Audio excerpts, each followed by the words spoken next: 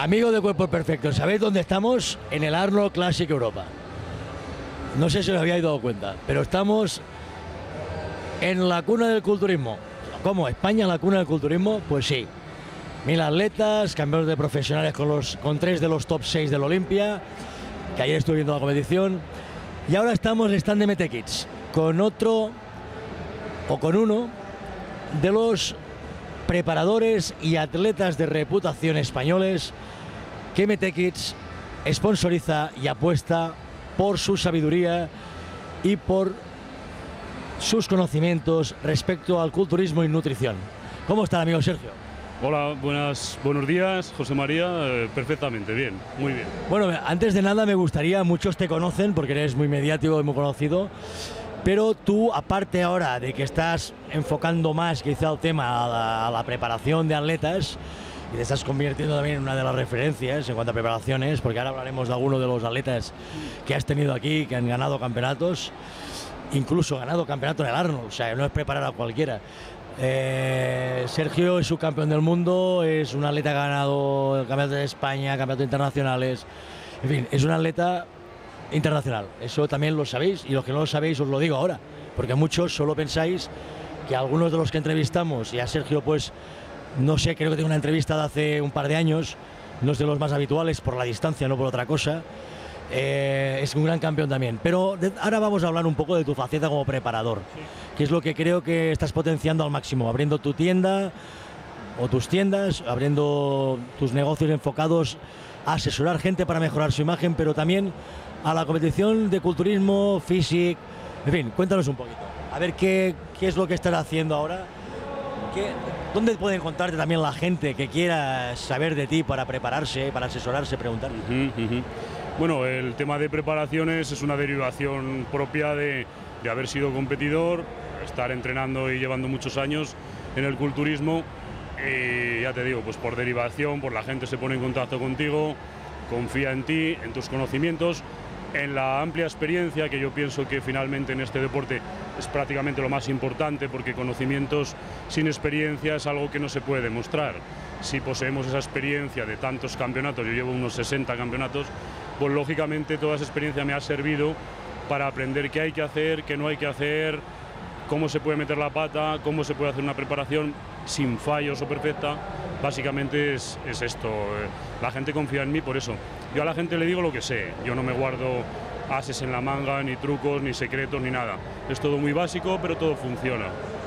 Realmente tú has recopilado información de, de- de- mucha gente, has ido aprendiendo, te has ido haciendo a ti mismo. Realmente el aprendizaje máximo lo tienes cuando tienes conocimiento para interpretar tu cuerpo y tú realmente ya eres un intérprete del cuerpo de los demás, lo cual hace necesario conocer mucho las circunstancias personales de cada atleta.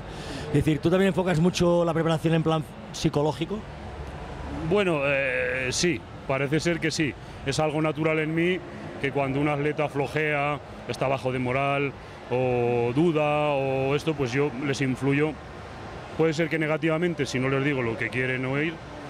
Y en muchos casos los que salen adelante y ganan campeonatos, pues ha sido positivo esta, esta crítica. Yo no soy falso, cuando veo a un atleta mal o con pocas posibilidades se lo digo.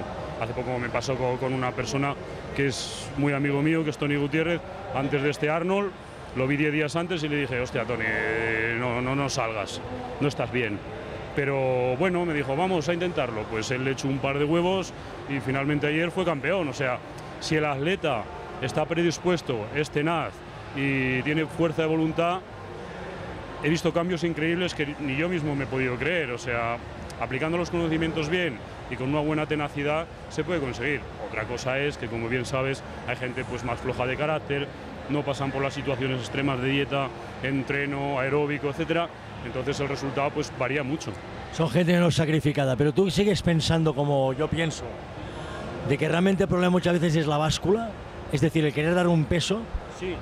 Es la báscula y es que los conceptos en el culturismo son totalmente, bueno, totalmente, pero para nosotros a lo mejor no, pero en general son subjetivos.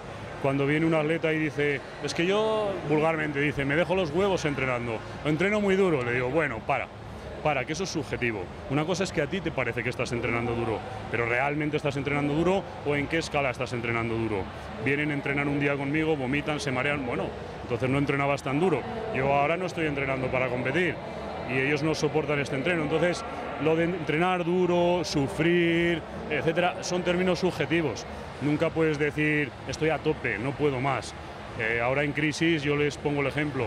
Si cuando vas a dejar la prensa te casco 50 pavos por cada repetición extra que hagas, seguramente estamos ahí toda la tarde. Entonces, ¿has llegado al fallo? No. De aquí sí, pero de aquí no. Entonces. ¿Y cuál es tu proyecto para ya a nivel personal? Para, para volver a resurgir. Bueno, pues sé que tú también, a ver, no eres, no eres joven, tampoco eres muy mayor, pero... muy bien, me gusta, me gusta. Yo también. pero quiero decir que, ¿cuál es tu planning? ¿Tienes idea de volver a aparecer?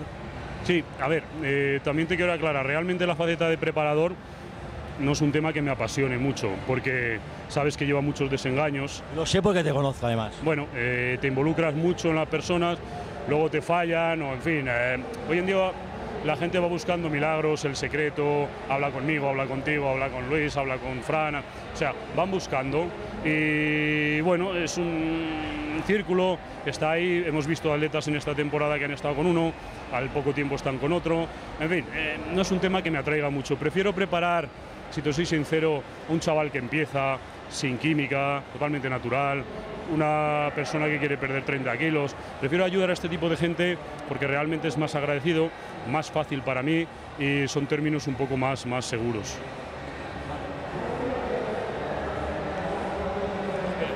Una, pregunta que te quería hacer. Eh, para la gente que nos sigue, eh, bueno, pregunta, más bien que tú digas una frase para la gente que nos sigue.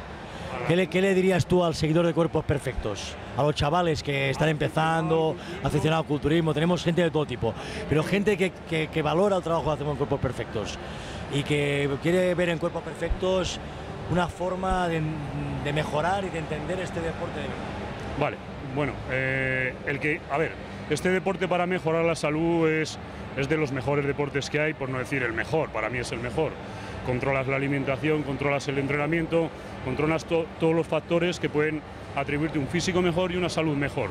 A nivel culturismo de competición, a nivel culturismo de competición, sinceramente es un deporte de excesos, pero no excesos en el sentido de tomar química, que todo el mundo está ahora con el tema ese, que parece que es... La química es un porcentaje muy pequeño dentro de una preparación, pero sí es un deporte de excesos en el sentido de que, de que tú cuando te pones a entrenar no puedes ser un tío comedido, modesto, tienes que darlo todo, tienes que volverte un poco loco, tienes que entrar en el estado alfa, tienes que conseguir repeticiones extra, tienes que sufrir, tienes que pasar por lesiones, cuando hay que llevar una dieta se lleva, son dietas muy estrictas, en fin, si tienes que dormir cuatro horas por hacer tres horas de cardio, en fin, quiero decir que hay que ver dónde uno se mete, hay que pensar que todo se ve muy bonito, vienen a ver un campeonato aquí al Arnold Classic, los ven pintaditos con el bañador, parece que esto es como un poco de pollo, hago un poco de entrenamiento y ya estoy así, pero no es así. Culturismo es un deporte de entrega al 110%. ¿Que luego hay otras cosas? Pues sí, hay otras cosas, pero en la época nuestra competíamos años y años sin que esas cosas existieran en nuestra preparación. Luego una cosa más, por lo que me has preguntado, yo sí que llevo idea de volver a competir, eh, lo que pasa que ahora he estado muy ocupado porque realmente la faceta de preparador, como te he dicho, no me interesa mucho. Es más, me veo con el tiempo ayudando a mis amigos y punto, no quiero entrar en el círculo de este preparador, soy mejor preparador, que él hace esto, no. Simplemente yo soy una persona con experiencia, objetiva, y prefiero ayudar a mis amigos. Si un día me vienes tú, un día me viene Luis, un día hablo con Fran casi a diario, él me ayuda a mí, yo, me gusta más esto. A la antigua escuela, ¿sabes? Antes no existía esto de el súper preparador, el, gurú, esto no estaba y era todo más bonito. No necesito hacer de preparador, no necesito pedirle a un tío, o sea, prefiero ayudar a mis amigos y ya está. ¿Por qué? Porque parece ser que hoy en día cuando uno te paga ya tiene derecho a todo, a exigirte una serie de cosas y a lo mejor ni hay genética ni hay entrega por su parte. Entonces, a ver, milagros no se hacen. Entonces, prefiero volver a competir, tengo que operarme de unas hernias en el abdominal que eh, ha sido entrenando así. prefiero la competición, me gusta la competición, soy competidor y bueno, pues yo como tú, pues eh, mientras disfrute, tenga progresos y como decíamos ayer, el que esté mejor que se ponga al lado, ¿no? Y, si no, pues a callar, porque en el escenario es cuando el culturismo pone a cada uno en su sitio. Ahora sabes que con el Facebook todo el mundo es la hostia, ¿no? Va a ser el sucesor de Phil Heath. Pero luego llegan las competiciones y ay, ay, ay. Pues muy, acertado, Sergio. Que para mí el culturismo lo bonito que tiene es que es un deporte individual donde tú te debes todo a ti mismo y donde si tienes algo que reprochar es a ti mismo. Y vale. Muchas gracias por la entrevista. Yo quería ver que se ha cruzado hace un rato, se ha cruzado este sujeto sujeto sin predicado. Mi amigo Luis, ¿qué te pasa, Luis? Hombre, me, pasa que he tenido un lapsus, debe ser cosa de la edad, de, que me voy acercando a la cincuentena. Y cuando me has preguntado antes los factores que, que han hecho eh, posible este, este, este resurgir mío. Entre lo has dicho, ¿eh? Has, ¿Sí? has dicho que eran tus amigos. sí, claro. Y, y, he tenido el lapsus. Quería mencionar un, un agradecimiento especial a nuestro compañero, compañero de Sergio y mío, que comparto lo que ha dicho él.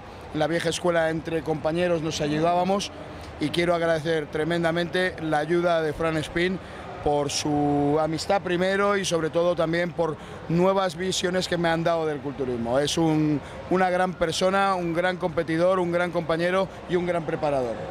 ¿Te digna, que un atleta, te digna mucho ser un, un atleta de un nivel estratosférico? que tenga un reconocimiento hacia alguien que la ayuda. Eso no deja de sorprenderme, porque la mayoría vamos muy de estrellas. Yo entre ellos. un inciso para que no parezca que chocheo como Luis, ¿no?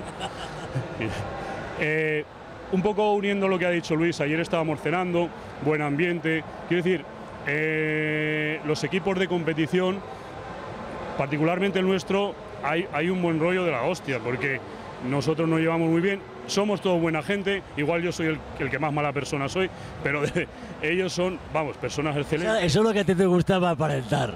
Que vas de palote y eres más, eres, eres más bueno. No, voy de malo, pero es que esta... Eh, la cara así de malo.